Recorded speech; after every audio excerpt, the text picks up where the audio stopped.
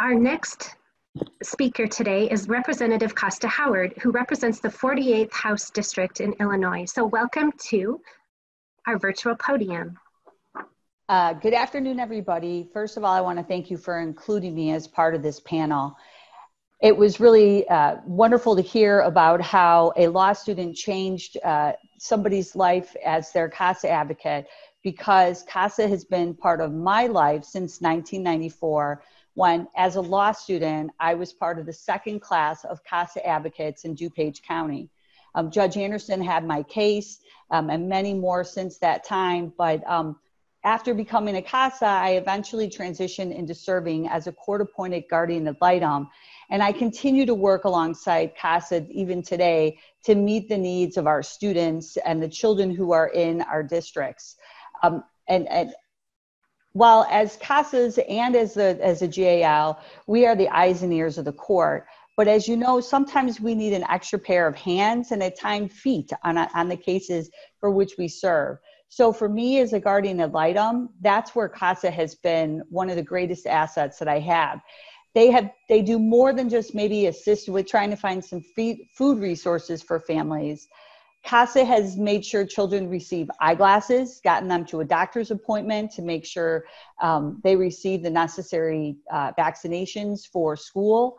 Um, they help prepare art projects to complete during visits uh, with parents. Uh, in fact, in one case, we had a CASA advocate who was able to uh, get a laptop for, for one of our minors, uh, and so that that child could participate in a photography class while she was in a residential facility. And then, as you would imagine, that CASA took the extra step of attending that art show. We have CASA advocates who have been instrumental with our older youth in care as well, right? So they've helped navigate an, a college application process, even talking about different um, college opportunities or trade schools, even helping our youth in care with that confusing myriad of issues involving financial aid and as we look at these difficult times, um, we could never have predicted that what is happening right now for our advocates and our families in need. And so our CASA once again has stepped up. They help our families think outside the box to find ways to connect not only to services, but even during visitation. Um, they have, they, they bring, have brought food to families. They I've talked to CASA workers who have read books over Skype. Um, they bring lunch and do FaceTime calls with kids just to make sure that they're, again, having that touch with that child and doing that extra check on them.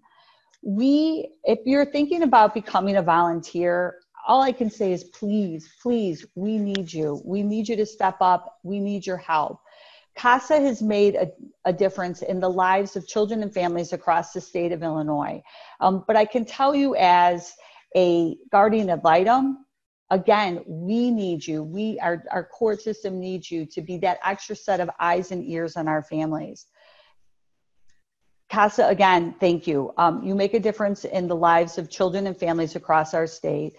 And as a lawyer, as a child advocate, and now as a legislator, I can't thank you enough for all that you do. So thank you very much and thank you for the time and keep it up.